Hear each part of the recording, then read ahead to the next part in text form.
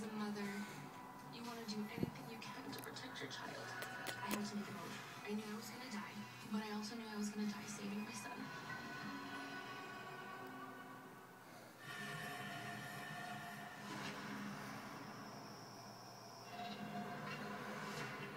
What did you uh, experience? All of a sudden, the candelabra lights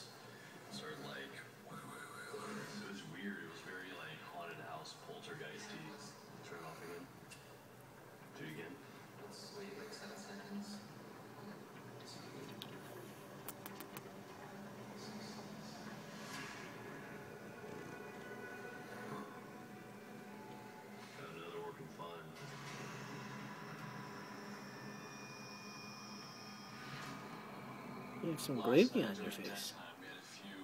Right over there. You have gravy on your face. Needed to look into.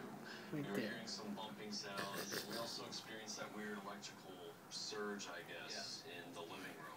If Wes started an order, the first thing happened with Chad. Okay. I was sitting in this bedroom on the second floor, all the way back, sitting in the chair, looking down the hallway.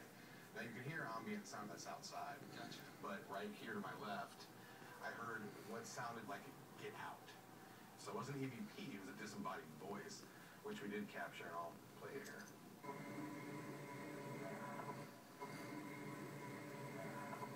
Right there. I'll play it again for you. Can you give it a few seconds afterwards?